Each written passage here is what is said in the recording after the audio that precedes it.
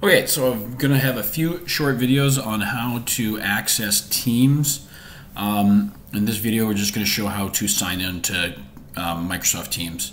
So you can either sign in online, so you can just, best way to find it probably is just a search, Google, just Google Microsoft Teams, and you should be able to sign in through that. Or if you've downloaded the app, like I have here, um, you can sign in through this. So every student sign in will be first name dot last name. So I've just chosen Kelvin. Thank you, he's top of my list. Um, so Kelvin dot Bennett, so first name dot last name at student dot cmsd dot bc dot ca. So that's the username.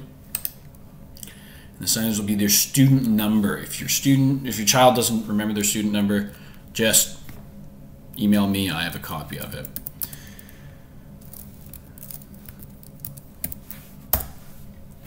So once you've signed into Microsoft Teams, um, that's it. You're in. You're gonna have your one, two, three, four teams. There are gonna be more. There's gonna be less. There's gonna be more. Most importantly, right now, um, is just getting used to the program. By no means, if you fall behind, is there anything to worry about? You were just learning at this point. This is not typical stuff.